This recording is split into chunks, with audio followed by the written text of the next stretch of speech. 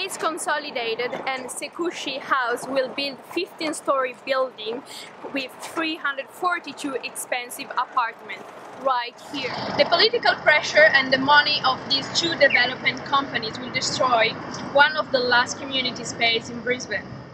I don't know if we should blame these companies or the politicians that they are supposed to work for us, people. Profit is the driving force that is reshaping our cities. The current system is pushing us to have debt and money problem just in order to have a place to call home. But what about people? What about the community? What about us? My generation will still live long time and I want to see cities planned for people and their well-being. Hi, here we are at the Absoe Warehouse redevelopment. To capture some footage of what was a great community hub here for West End, a vibrant home to the art scene, a, an incubation hub for small creative businesses. A home of circuses, online startup businesses, the home of a whole creative economy surrounding celebrating ethnic foods and local music. We're looking at designing a, a better way to use this space. The proposed development of of box apartments is unaffordable and unsustainable. We want an opportunity to redesign the space, something with renewable energy, something with affordable housing, and something that reflects the beliefs of the people that live in the surrounding community.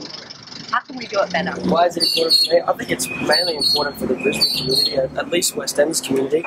They've had plenty of music and, and culture happening around this place for the last few years and stuff like that.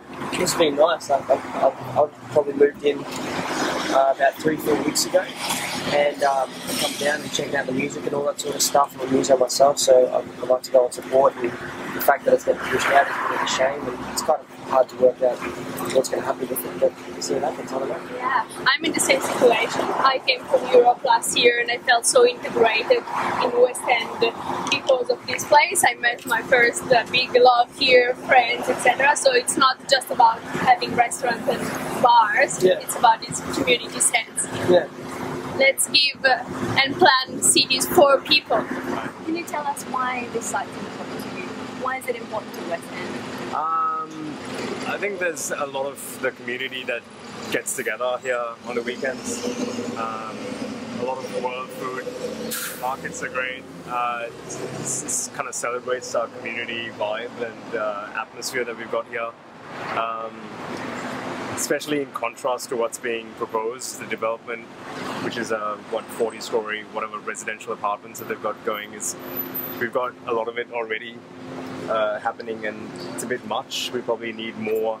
Uh, more areas for the community to kind of hang out, like the Boundary Street markets. Uh, it's important to keep things like that going and to have things like that in our community to kind of foster the proper, you know, kind of uh, the, the proper kind of community aspect of it.